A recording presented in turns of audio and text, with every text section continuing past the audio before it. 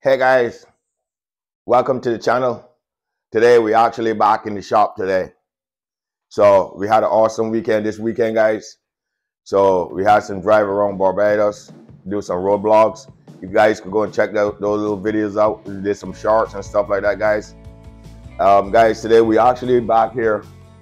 We're gonna start back the process on the 2016 Suzuki Swift. As you can see, we actually um, started to fit our quarter panel on. So now we'll finish, show you the process of that, how we put this quarter, finish quarter panel on, and then our back panel, guys, our rear body panel. Stay tuned for the process, guys.